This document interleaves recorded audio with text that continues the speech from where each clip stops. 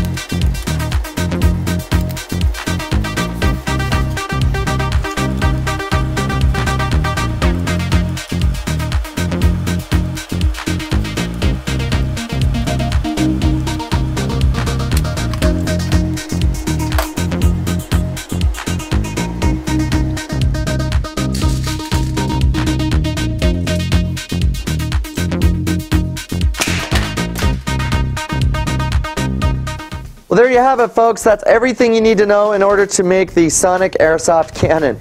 Now, what you've just experienced is what we call our supplemental video. For every project that we develop, with the exception of a few in the very beginning, you get the instructions, which are the templates that you saw us using that video, and then you also get uh, the supplemental video, which is what you've just seen.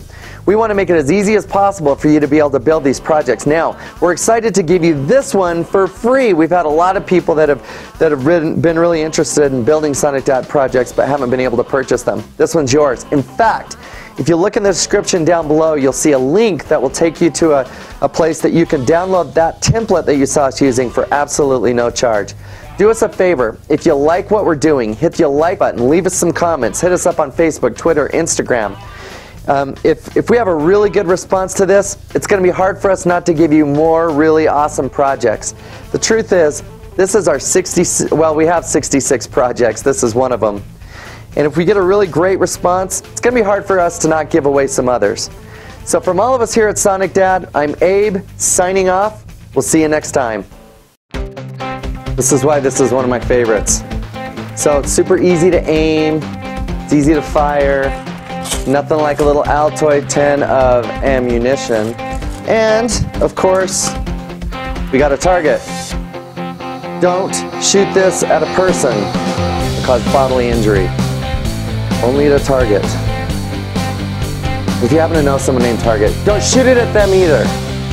Check this out. Oh my gosh. Where's safety glasses? That came right back at me. If you like what we're doing, click here to subscribe to our YouTube channel or here to go to our website. I see.